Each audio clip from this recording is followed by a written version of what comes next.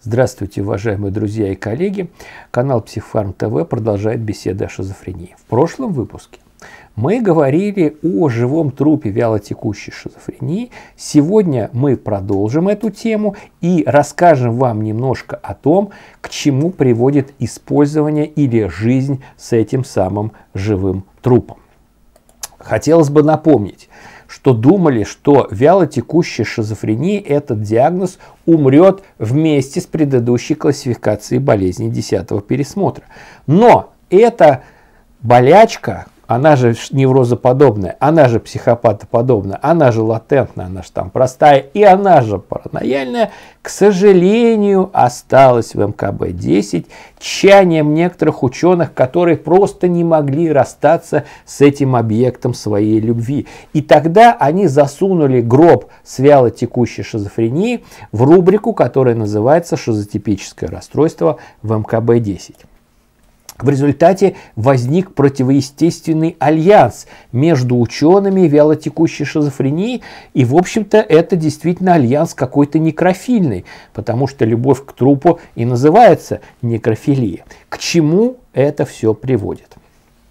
Мы провели специальное исследование, которое называется Анкорпси, и результаты этого исследования вы можете прочитать в открытой печати. Ссылочка на это имеется. Обследовали 212 больных, которые наблюдались в ПНД в Москве и Чебоксарах, и выяснили, что этим больным время от времени ставится диагноз вялотекущая шизофрения, психопатоподобная или неврозоподобная – Иными словами, используется живой труп.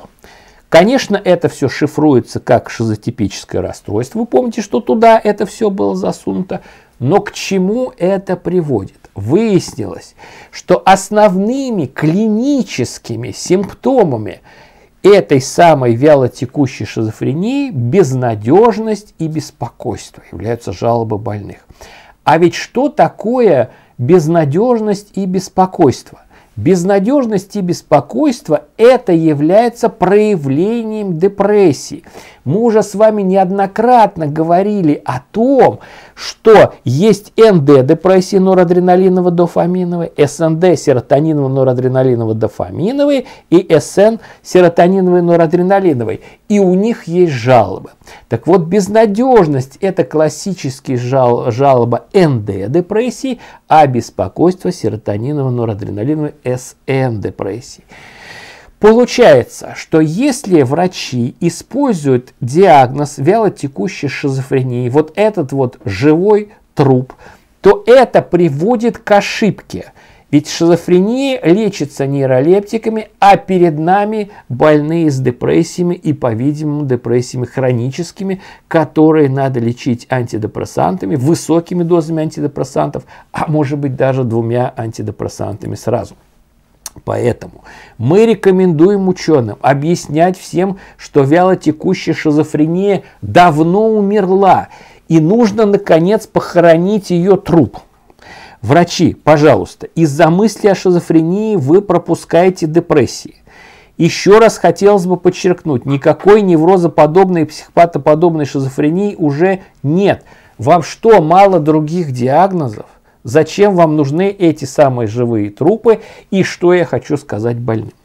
Конечно, вы, пожалуйста, не пугайтесь, если вам установили несуществующий диагноз. В этом случае вы либо здоровы, либо врач ошибся и диагноз совершенно другой – вот если вам устанавливается такой неверный диагноз, я бы подумал на вашем месте, что нужно сменить лечащего врача.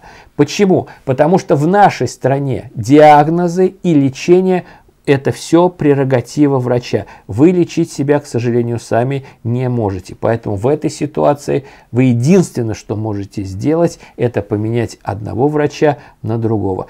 Я желаю вам здоровья, удачи, и мы с вами будем продолжать беседы о шизофрении. До свидания.